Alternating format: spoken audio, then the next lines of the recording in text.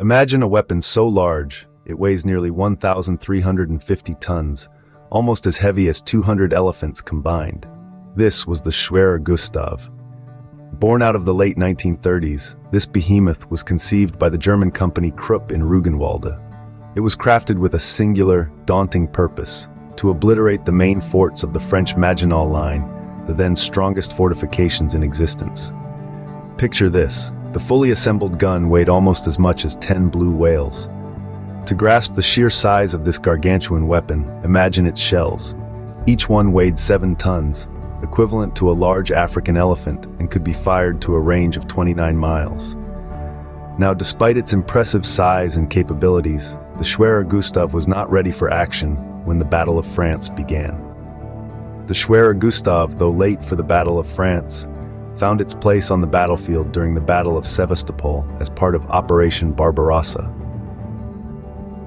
The colossal railway gun, a testament to German engineering, was deployed in the Soviet Union. The Gustav was not merely a showpiece. It was a functioning giant, unleashing devastation on a scale previously unseen. The Gustav's claim to fame came when it was tasked with the destruction of a munitions depot situated about 30 meters below sea level. The immense gun, weighing nearly 1,350 tons and capable of firing shells weighing 7 tons, was a force to be reckoned with. Its shells, propelled to a range of 47 kilometers, were designed to punch through 7 meters of reinforced concrete or a full meter of steel armor plate. The Gustav's mission was a success. The munitions depot was obliterated, its existence erased by the sheer power of the Gustav. This feat of destruction underscored the Gustav's potential, casting a long shadow over the battlefield. But the Gustav was not done. It was then moved to the city of Leningrad. Here it was poised to play a significant role in the Warsaw Uprising, the Gustav, with its unmatched firepower, could have changed the tide of the uprising. It was a weapon of such magnitude that it could tip the scales of a conflict.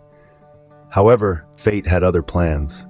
The uprising was crushed before the Gustav could be prepared to fire. The giant on the battlefield, the symbol of German might, was left without a chance to make its mark on this chapter of history. Yet, even without firing a shot, the Gustav remained a formidable presence. Its mere existence was a testament to the ingenuity and ambition of its creators. And the destruction it had wrought in Sevastopol served as a stark reminder of its devastating potential. The Schwerer Gustav, a symbol of German engineering prowess, was then moved to Leningrad, but the uprising ended before it could be prepared to fire. As the war neared its end, the fate of the Schwerer Gustav hung in the balance. The year was 1945 and the tides of war were rapidly turning. The colossal railway gun, an engineering marvel that had once struck fear into the hearts of the enemy, now faced an uncertain future. The Germans, wary of the advancing Soviet Red Army, made a critical decision. They resolved to destroy the Schwerer Gustav, a weapon of immense size and power, rather than risk it falling into enemy hands. The Gustav, the pride of the German war machine, was to meet its end in a paradoxical blaze of glory, the very symbol of its existence. It was a dramatic moment, a testament to the desperation of the times. The Gustav, a symbol of German might and ingenuity, was dismantled. Its parts were scattered, its power extinguished. A weapon that had been designed to bring about destruction was itself destroyed, a poignant reflection of the cycle of war. But even in its destruction, the Gustav left behind an indelible legacy. It stood as the largest caliber rifled weapon ever used in combat. Its monumental size and the weight of its shells were unmatched in the annals of warfare.